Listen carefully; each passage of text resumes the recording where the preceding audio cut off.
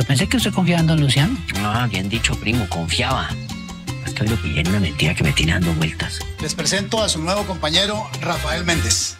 Yo me voy a encargar de que la Maldonado esa, el carro chocado ese, le pague cada canallada que le hizo. ¿Yo?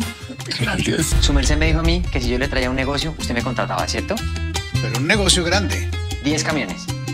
¿10 camiones? Hola, hola mis faranduleros, bienvenidos a nuestro canal Danji TV. Hoy te compartiremos un avance de lo que va a suceder en el próximo capítulo de la exitosa telenovela Hasta que la plata no se pare. Rafael Méndez le expresa al gerente de la competencia de Ramenautos, usted me dijo a mí que si yo le traía un negocio, usted me contrataba, ¿cierto? El gerente exclama, sí, pero un negocio grande. Rafael Méndez dice, vendí 10 camiones y el gerente de la empresa se sorprende. Lorenzo le dice a Luciano, yo me voy a encargar de que la Alejandra Maldonado esa pague y el carro chocado ese de Méndez también le paguen cada daño que le han hecho. ¿Me entendió? Luciano muy triste contesta, muchas gracias. El capataz de la hacienda de los Maldonados le dice a Chávez, yo pensaba que confiaba en el señor Luciano. Chávez responde, muy bien dicho, confiaba, porque hoy lo pillé en una mentira que me tiene dando vuelta. El gerente de la competencia de Ramenautos le dice a los asesores de venta, les presento a su nuevo compañero Rafael Méndez y Marino se sorprende.